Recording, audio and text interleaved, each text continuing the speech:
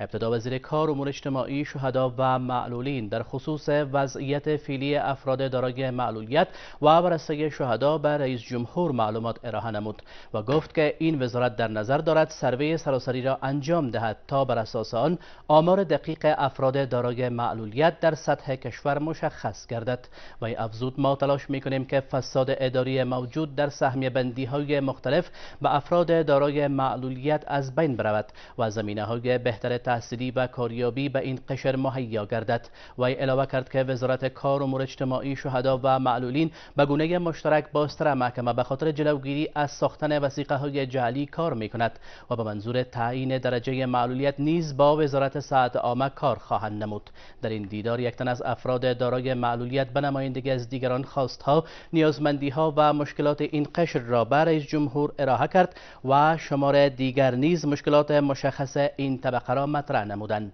رئیس جمهور غنی پس از شنیدن خواستها و پیشنهاداتشان گفت که خواستهای افراد دارای معلولیت برای ما اهمیت خاص دارد و مشکلات شما مانند پروسه صلح مهاجرین و بیجا شدگان برای حکومت جدی است و ما تعهد داریم که نظر به امکانات موجود به خواستها و مشکلات شما رسیدگی کنیم. رئیس جمهور کشور گفت ما جنگ شدید را در سال جاری پشت سر گذاشتیم و این جنگ باعث تلفات و مجروحیت در صفوف قوای امنیتی و دفاعی کشور گردید که توجه بیشتر ما به این موضوع معطوف بود. رئیس جمهور غنی علاوه کرد که حکومت به خاطر ساختن اداره مستقل برای شهدا و افراد دارای معلولیت بررسی های همه جانبه را انجام خواهد داد تا ابعاد موثر تشکیل این اداره واضح گردد. و ای تاکید ورزید که گماشتن افراد دارای معلولیت در پست های دولتی باید با در نظر داشت اصل شایسته سالاری صورت گیرد و چگونگی سهم این قشر در مشرون جرگه نیز بررسی خواهد شد. محمد اشرف غنی گفت که برای ورسه شهدا و افراد دارای معلولیت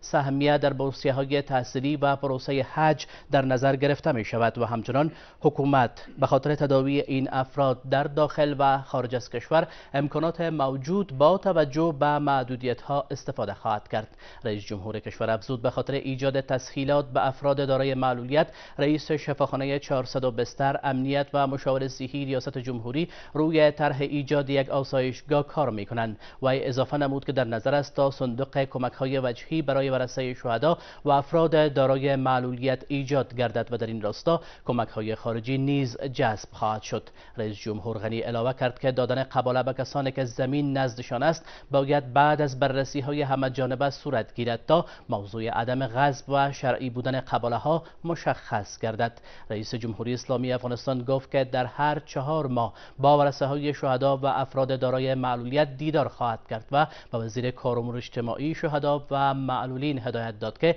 در این خصوص نشست را با حضور اعضای کابینه در ارک فراهم نماید تا مشکلات این افراد بررسی و اقدامات لازم صورت گیرد. سفیر اتحادیه اروپا در افغانستان امروز با معاون دوم ریاست جمهوری پیرامون موضوعات اصلاحات عدلی و قضایی